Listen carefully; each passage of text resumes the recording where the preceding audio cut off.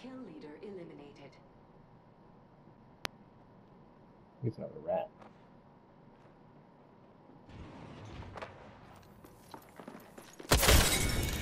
Oh, Hey. Heavy delivery. Damn. Oh my Dude, I would be gosh, so dude.